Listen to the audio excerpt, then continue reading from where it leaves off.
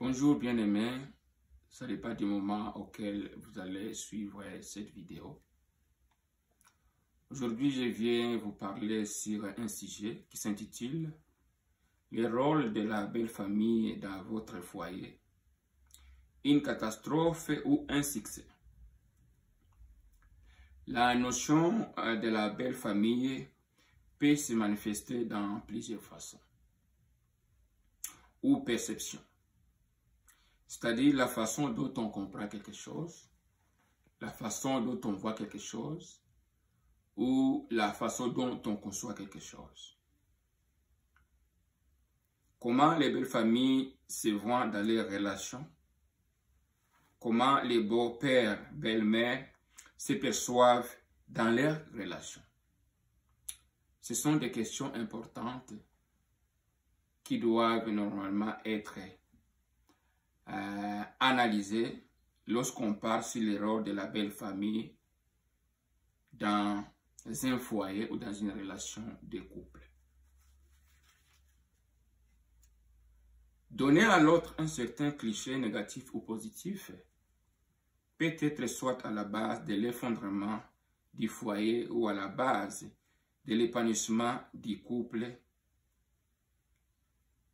de leurs enfants.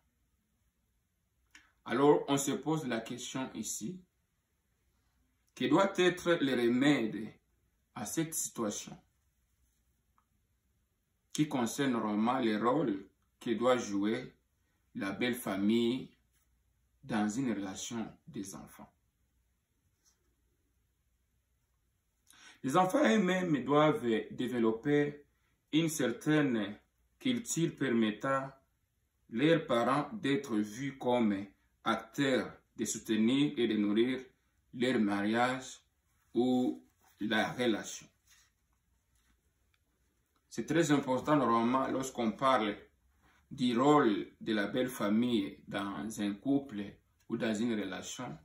C'est très important que les enfants eux-mêmes sachent qu'il est important qu'ils puissent eux-mêmes jouer aussi un certain rôle qui est capital pour avoir une relation harmonieuse dans leur couple. Et les valeurs qui sont normalement importantes à ce niveau, c'est l'honnêteté et l'intégrité. L'honnêteté et l'intégrité sont des valeurs qui peuvent normalement aider les parents à jouer un rôle euh, fructueux, un rôle important euh, dans la relation de leurs enfants. Dans plusieurs euh, ou certains cas, les parents n'ont pas aidé les enfants. Au lieu de soutenir et nourrir les foyers de leurs enfants, ils ont tendance tout simplement de démolir ou d'affamer la relation.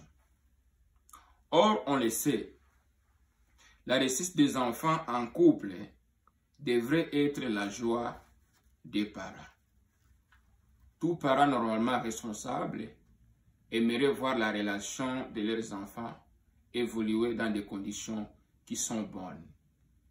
Tout parent qui se respecte aimerait tout simplement voir euh, les enfants réussir dans les relations. Alors, ici, on peut se donner un thermomètre. Un thermomètre, nous savons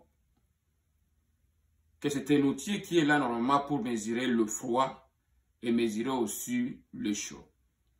Si tu veux savoir la température de quelqu'un, savoir que son corps est vraiment chaud ou son corps est froid, l'instrument que nous utilisons, que nous connaissons, qu'on utilise, les médecins qu'ils utilisent, c'est le thermomètre. Et aussi dans la relation euh, des enfants, il y a trois dynamiques qui alimentent l'activité euh, des bons pères ou des belles mères. Il y a normalement trois activités qui sont très importantes à savoir dans euh, euh, l'alimentation de la dynamique des beaux-pères ou des belles-mères dans la relation de leurs enfants. Et la première dynamique, c'est la perception. La perception, c'est tout simplement la façon dont l'on comprend quelque chose. il y a quelque chose qui est devant vous. La façon dont vous comprenez cette chose, c'est ce qu'on appelle la perception. Et ici, dans la perception, les parents ont une certaine perception sur la relation de leurs enfants. Chaque parent, qu'il soit beau-père, qu'il soit, euh, qu'elle soit belle-mère, elle a une certaine perception sur la relation de leurs enfants. Ça, c'est une première dynamique euh, qui permet normalement d'analyser euh, les comportements des parents par rapport à leurs enfants. C'est-à-dire la perception, c'est quelque chose qui peut permettre à l'enfant de savoir les regards que ses parents ont sur leur foyer. La deuxième dynamique, c'est la proximité. La proximité, c'est la situation de quelque chose euh, qui est tout simplement proche. C'est ce que nous appelons la proximité. La proximité de quelque chose, c'est tout simplement euh, être proche à quelque chose que vous, vous voudrez tout simplement approcher. C'est ce qu'on appelle la proximité, c'est-à-dire la distance euh, qui est entre, je peux dire, les points A au point B. Ça, on peut l'appeler la proximité. Et le troisième point dans cette dynamique, c'est le contrôle. Le contrôle ici, ce qu'on doit savoir ici, le contrôle, c'est tout simplement avoir un pouvoir euh, sur les individus dans une relation.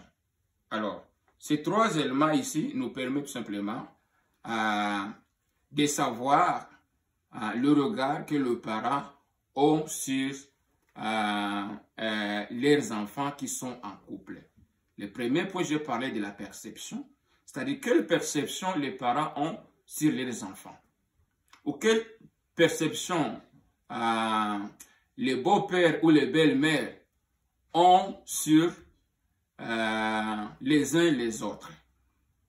Est-ce que cette perception, elle est négative ou cette perception, elle est positive?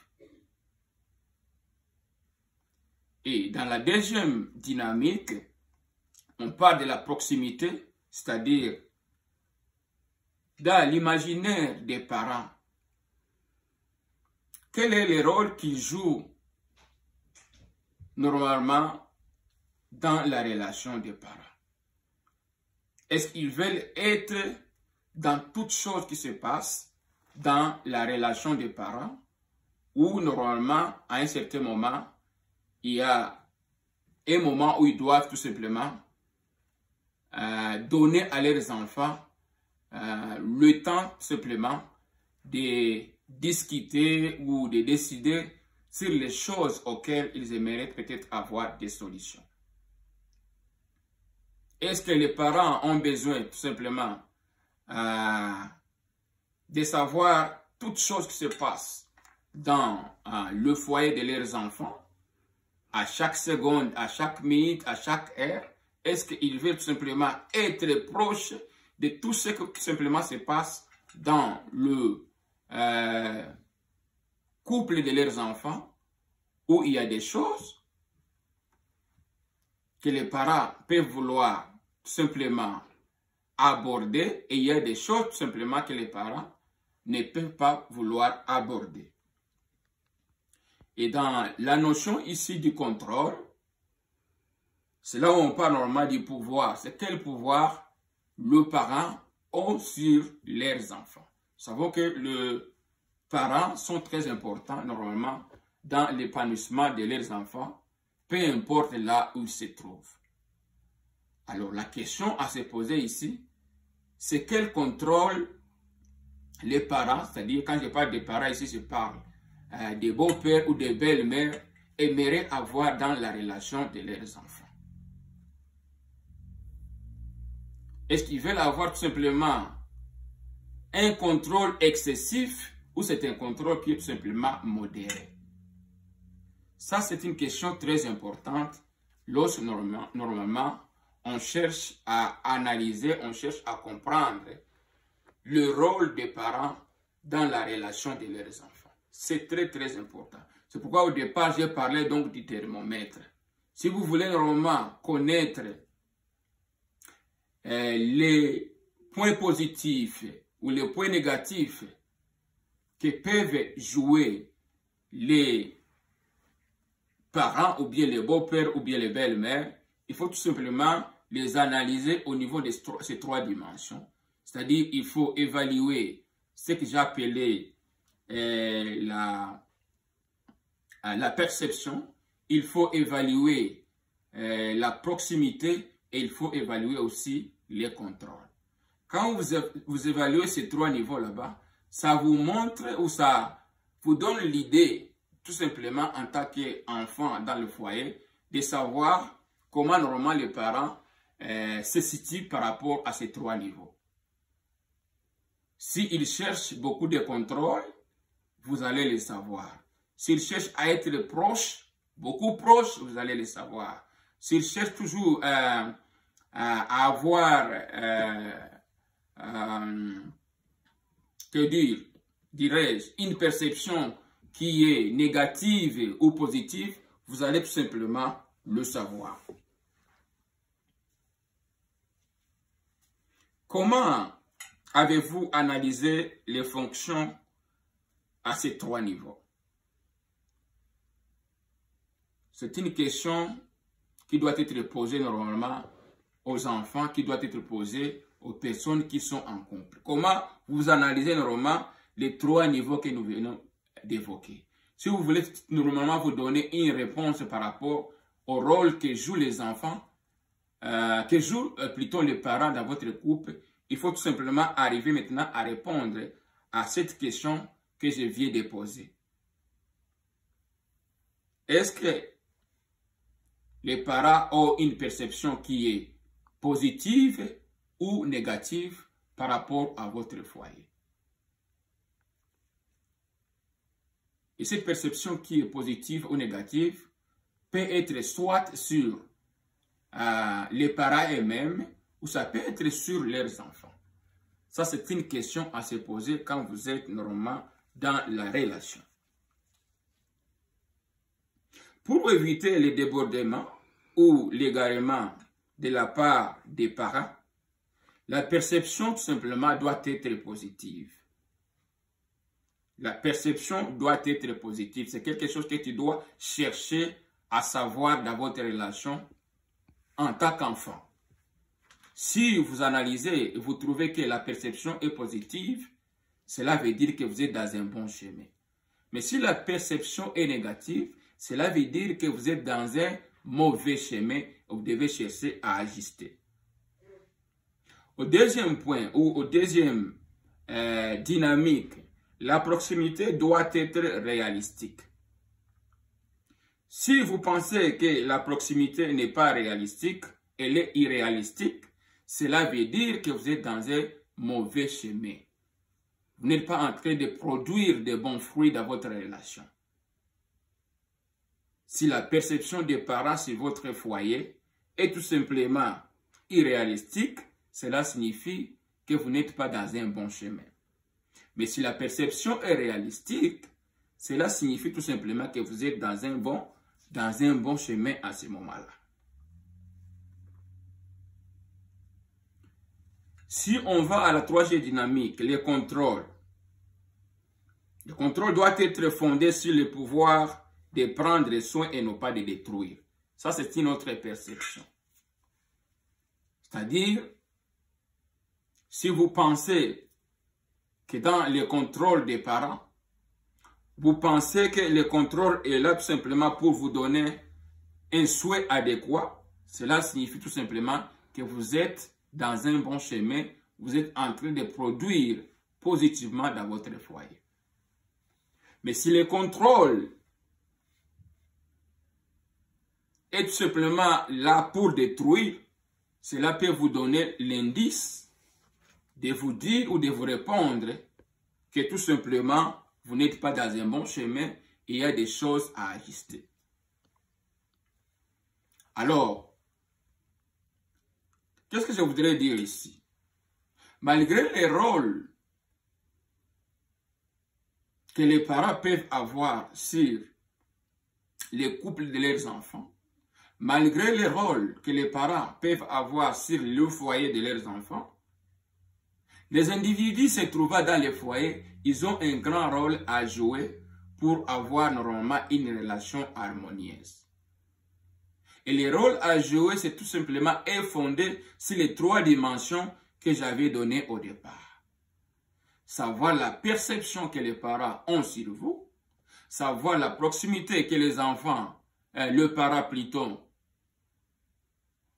ont par rapport à vos foyers et savoir aussi le niveau du contrôle que les parents exercent sur vos foyers. Si vous pensez que ces trois niveaux ne fonctionnent pas convenablement, cela veut dire qu'il y a quelque chose à fixer.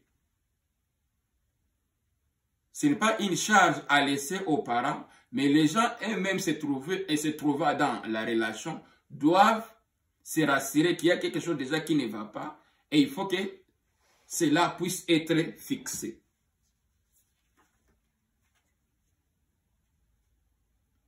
Parce que nous savons, comme on l'a dit au départ, tous les parents aimeraient voir leurs enfants réussir.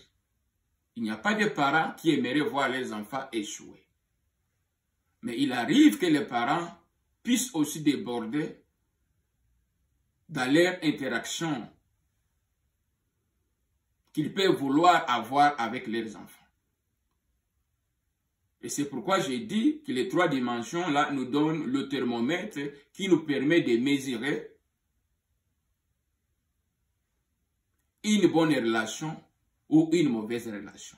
Si les trois dimensions-là sont bien analysées et vous remarquez qu'il y a quelque chose qui cloche dans chaque niveau d'analyse,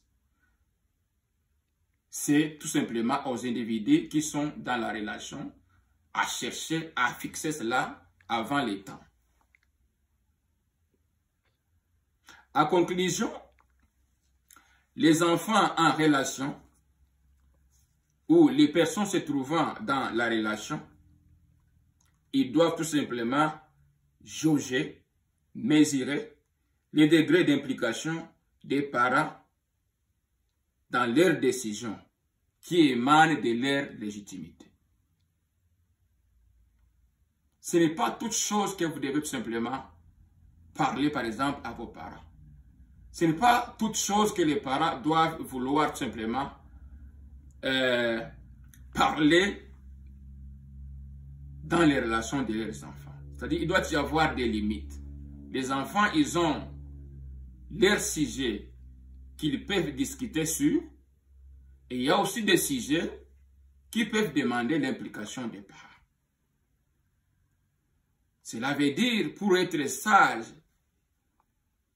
dans ce qui doit être le rôle des beaux-pères ou des belles-mères dans la relation de leurs enfants, il revient aux personnes se trouvant dans cette relation de prendre les responsabilités, savoir quelles doivent être les limites de leurs parents dans les relations pour éviter tout simplement les débordements ou bien pour tout simplement éviter des conflits inutiles.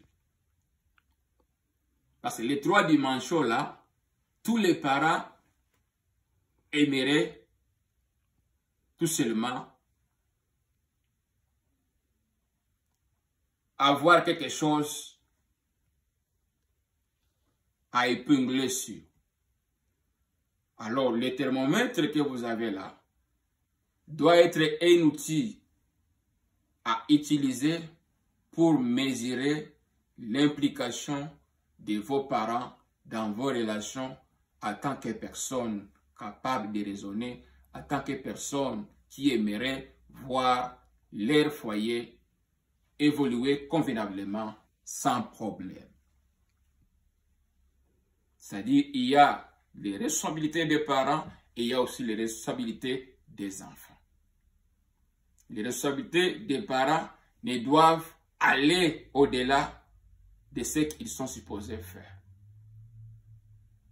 Donc, c'est-à-dire, il y a une part à jouer par les parents dans le foyer de leurs enfants et il y a une part à jouer par les enfants eux-mêmes dans leur foyer pour qu'il puisse y avoir une bonne symbiose permettant à nourrir les foyers convenablement au lieu tout simplement de les détruire.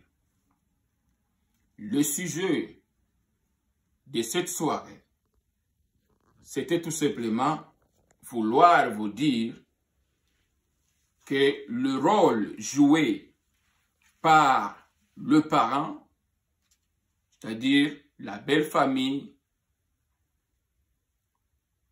par la belle-mère ou le beau-père, les rôles à jouer dans les familles de leurs enfants doivent être jaugés par les enfants eux-mêmes, doivent être mesurés par les enfants eux-mêmes en utilisant ce que je appeler le thermomètre qui est tout simplement épinglé dans les trois dynamiques que j'ai épinglées dans ce sujet cette soirée.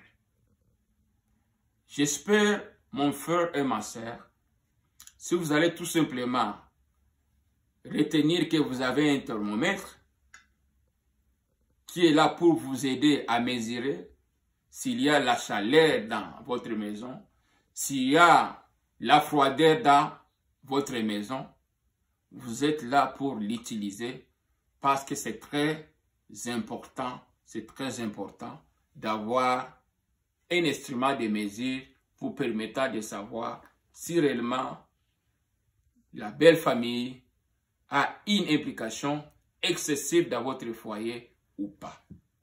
C'est tout ce que vous pouvez avoir comme remède. Il n'y a pas quelqu'un d'autre qui va venir de l'extérieur pour fixer ça, mais c'est à vous, les gens se trouvant dans les couples, être à mesure tout simplement d'être éveillés, de savoir si réellement l'impact quand la belle famille sur votre foyer ou sur votre relation, si cet impact est tout simplement positif ou l'impact est négatif. C'est aux gens et même se trouvant dans la relation qui doivent être à mesure de juger, qui doivent être à mesure de juger convenablement, sans émotion, avec tout simplement raison, ce qui est bon dans leurs relations ou bien ce qui n'est pas bon dans leurs relations.